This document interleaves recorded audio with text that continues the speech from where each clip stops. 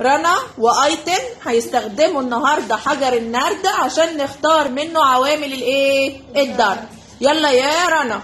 ارمي أول رمية كده. طلع كام؟ يلا اكتبيها. يبقى أول عامل طلع كام؟ يلا يا أيتن امسكي حجر النرد. اختاري العامل التاني. كام يا أيتن؟ يلا يا قمر. اخترنا العامل التاني كام؟ برافو. يلا يا رنا اختاري العامل التالت. طلع كام؟ خمس.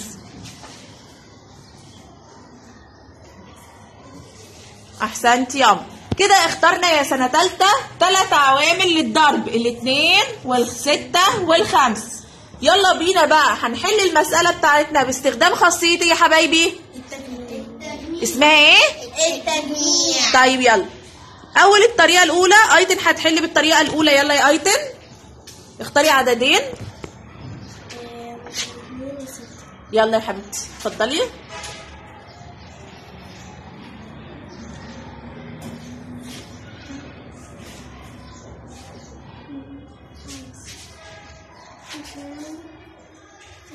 ستة هنحلها إزاي؟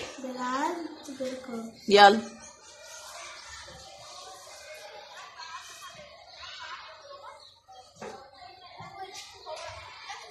بمقدار كام يا ايتن؟ اتنين. هنقفز كام مرة؟ ست مرات. احسنتي يا ايتن.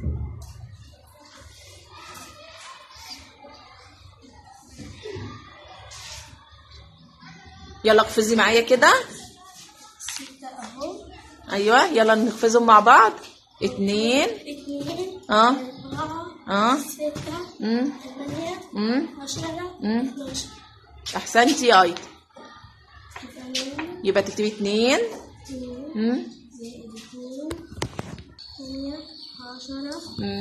12 يبقى الاتنين في ستة بكام يا ايتن طب وبعدين هعمل إيه؟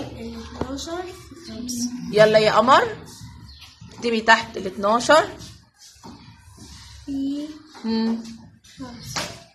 كنا واخدينها الترم الأولاني والأستاذة قايلة لنا على الضرب عددين في عدد. كنا بنعمل إيه يا أيتين؟ كنا بنضرب خمسة برافو عليكي. يلا. بننزل الصفر ونعمل واحد. وبعدين؟ بقوا اتنين. اتنين في خمسة.